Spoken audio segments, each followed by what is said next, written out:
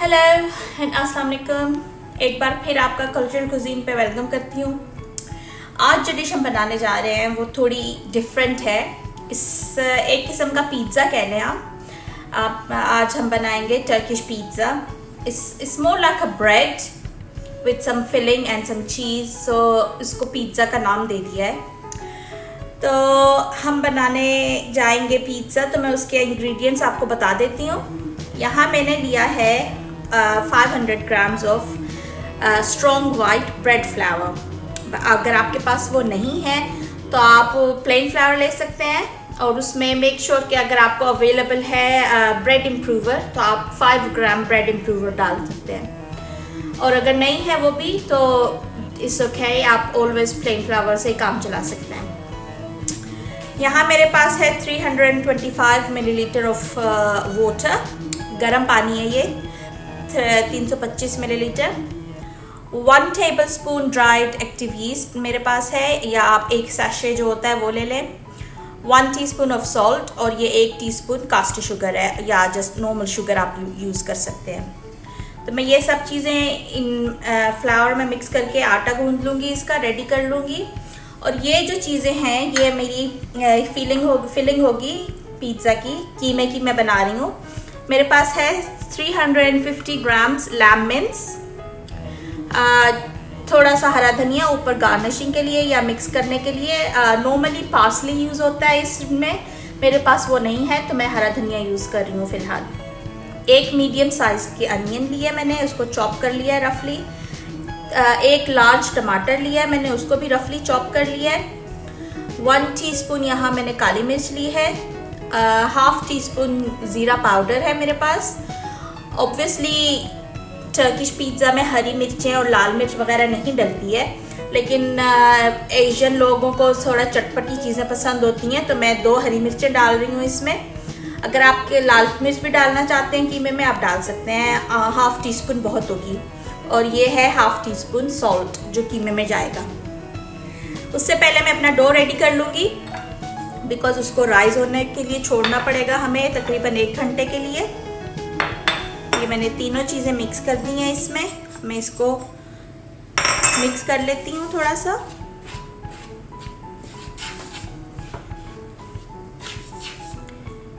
मैं इसमें अब पानी डाल के थोड़ा आटा गूंदना शुरू करूँगी, लेकिन उससे पहले मैं ये चीज़ें साइड पे कर दूँ, ताकि यहाँ ज़्यादा जगह बन जाए आटा गूंदने के लिए।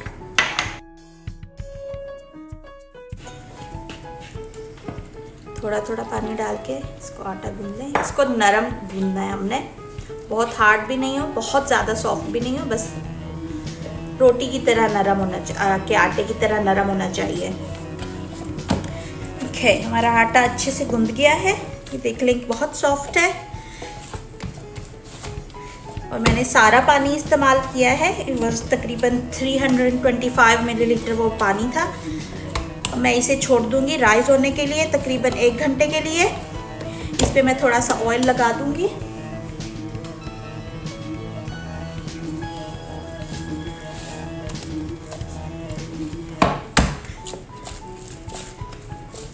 और इसे छोड़ दूँगी तकरीबन एक घंटे के लिए। जब तक हमारा आटा राइस होगा, हम कीमे की फिलिंग तैयार कर लेते हैं। मैं फ्राइंग पैन में तकरीबन एक टेबल स्पून ऑयल डालूँगी ताकि थोड़ी प्याज सोटे कर लूँ उसमें। बहुत ज़्यादा ऑयल नहीं चाहिए, क्योंकि ये एक किस्म की टॉपिंग की तरह से हम तैयार कर रहे हैं। वो सालन की ग्रेवी वगैरह नहीं होनी चाहिए उसमें तो बहुत ऑयली भी नहीं होना चाहिए। प्याज इसमें मैं फ्राई करूँगी जब तक थोड़ी ट्रांसलूसेंट ना हो जाए और सॉफ्ट नहीं हो जाती वो। फिर मैं इसमें कीमा और बाकी के स्पाइसेस वगैरह ऐड करूँगी।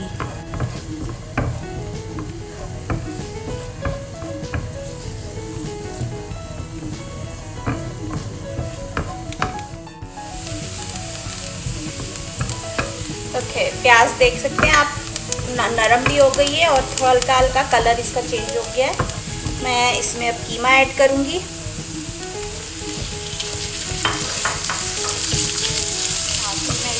करूँगी। टमाटर।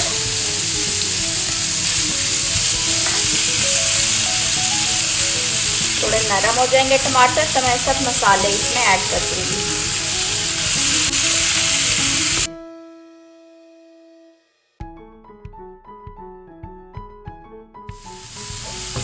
मैं इसमें ऐड करने लगी हूँ सब स्पाइसेस ये ज़ीरा पाउडर।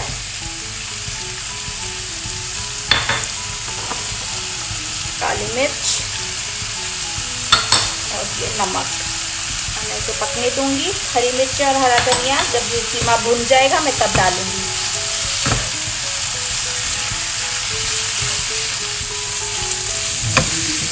कीमा भुन गया है, आप देख सकते हैं अच्छे से। टमाटर भी नरम हो गए हैं और मिक्स हो गए हैं बहुत हद तक। इसमें मैं हरी मिर्चें डाल दूँगी। और हरा धनिया, और मैं चूल्हा बंद कर दूँगी।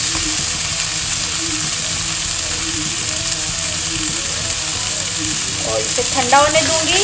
ठंडा होने के बाद फिर हम अपने से पिज़्ज़ा बनाना शुरू कर देंगे। ओके ये आप देख सकते हैं, हमारा डो कितने अच्छे से राइज हो गया है। अर्लियर मैं आपको बताना भूल गई कि मैं दो तरह की पिज्ज़ाज बनाऊँगी। एक होगा सिर्फ़ चीज़ के साथ, एक होगा कीमा एंड चीज़ की टॉपिंग के साथ। तो जहाँ चीज़ मैं यहाँ इस्तेमाल कर रही हूँ, इसका नाम है कशार चीज़। ये टर्किश चीज़ है जो वो यूज़ करते हैं स्पेशली इस पिज़्ज़ा के लिए। लेकिन अगर आपके पास ये अवेलेबल नहीं है तो आप इजीली मोजरेला चीज़ यूज़ कर सकते हैं और mixture of mozzarella and cheddar मैंने यहाँ ली है तीन तीन सौ ग्राम कशार चीज़। तो ओके मैं अब डिवाइड कर लूँगी अपने डो को। तीन से चार हिस्सों में डिपेंड करता है आपको कितना साइज़ के बनाने हैं, किस साइज़ के, अगर आप बड़े साइज़ के बनाना चाह रहे हैं तो दो हिस्से हो जाएँगे, छोटे साइज़ के तो चार। तो मैं इसको चार हिस्सों में डिवाइड कर लूँगी। मैं इसे काट लेती हूँ उसे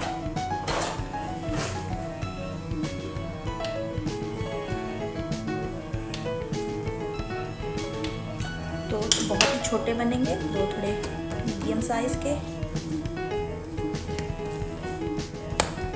अब इन्हें दो बोल की तरह, पेड़े की तरह इसको शेप दे लें।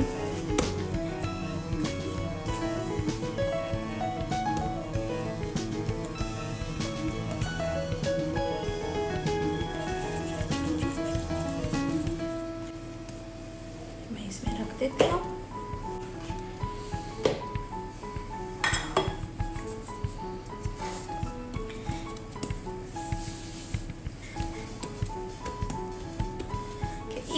पिज़्ज़ा की शेप थोड़ी डिफरेंट होती है, वही इसको थोड़ा डिफरेंट बनाती है। मैं रोलिंग पिन से बढ़ा रही हूँ इसको। इसको ओवल शेप में हमने रोल करना है, बेल, बेलना है।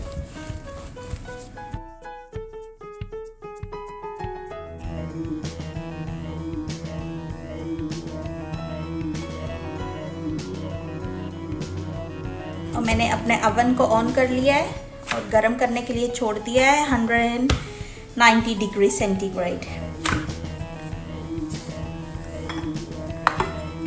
ये मेरा हो गया है रेडी शेप अब मैं इसमें डालूँगी अपने कीमे की फिलिंग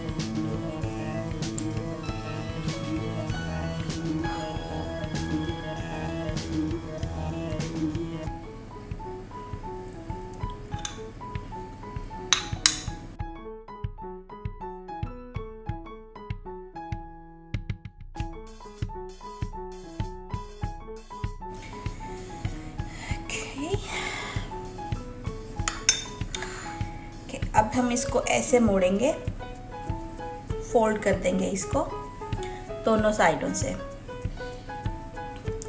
तो ये इसकी एक किस्म की बोट की तरह से शेप बन जाएगी। इसमें थोड़ी सी और डाल देती हूँ फिलिंग एंड पे।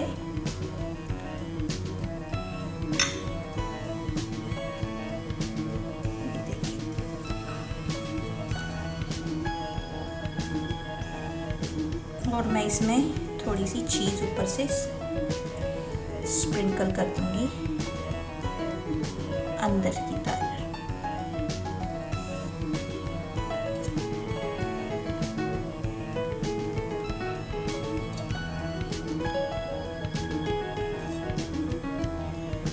एक और चीज़ जो इसको डिफरेंट बनाती है देन द नॉर्मल पिज़्ज़ास वो है सीड्स ये टर्किश ब्रेड की है तो आप इसमें कलौजी इस्तेमाल कर सकते हैं सेसमी सीड्स इस्तेमाल कर सकते हैं, जो आपका दिल चाहे। मैं इसमें इस वक्त कलौजी लगा रही हूँ। थोड़ा डिफ़िकल्ट है इसको लगाना, इस टाइम बिकॉज़ ये ऐसी शेप है.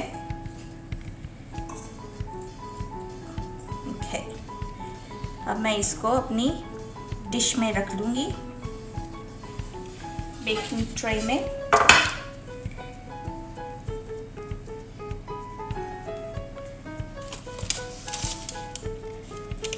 अगर आप चाहें तो इसको दूध से या एग से एग वॉश कर सकते हैं। लेकिन मैं ऐसे ही बेक करूँगी और फिर बाद में बटर से ब्रश करूँगी साइड्स। कि मैं दूसरा वाला सिर्फ़ चीज़ का बनाऊँगी अब। Okay, ये मेरी दो रेडी हो गई हैं ये मैं अवन में रखने लगी हूँ। जब तक ये बेक होती हैं मैं अपनी बाकी के दो भी तैयार कर लूँगी। Okay, हमारी ब्रेड इज़ रेडी आप pizza rather no bread and आपको मैं दिखा दूँ ये नीचे से भी बहुत अच्छे से कुक हो गई है। अभी गर्म है ये। तो मैं इसको आपको ऐसे उठा के दिखा देती हूँ। लवली कलर अंडरनीथ भी गरम है, मैं इसको ब्रश करूँगी साइड्स को, थोड़ा सा मेल्टेड बटर के साथ।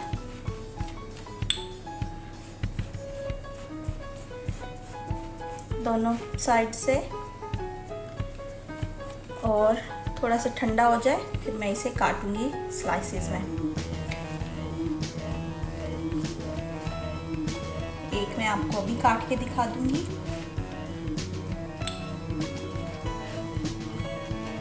अगर आप इसे बेक करने से पहले बटर से आई मीन एग से या मिल्क से वॉश करेंगे तो ये आपके जो सीड्स हैं इजीली चिपक जाएँगे उस पर अगर आप कुछ सीड्स चाहिए।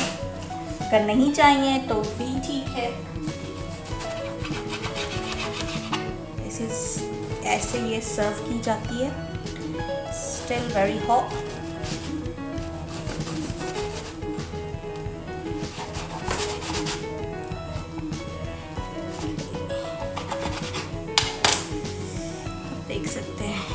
lovely it's cook very nicely एक मैं आपको चीज़ का भी काट के दिखा दूँगी but it would be oozing out cheese would be very nice अगर आप चीज़ लवर हैं चीज़ फ़ैन है you can see cheese is oozing out it's nothing in it सिवाय चीज़ के इसमें कुछ भी नहीं है.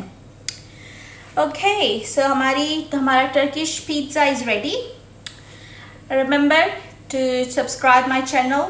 And all also give it a thumbs up if अगर आपको मेरी रेसिपी पसंद आई है तो। एंड प्लीज़ बेल आइकन को दबाना ना भूलिएगा, ताकि आप मेरी नोटिफिकेशन आपको पहुँच सके नई वीडियोस की। तो इन फिर मिलेंगे एक नई रेसिपी के साथ। See you soon on culture cuisine bye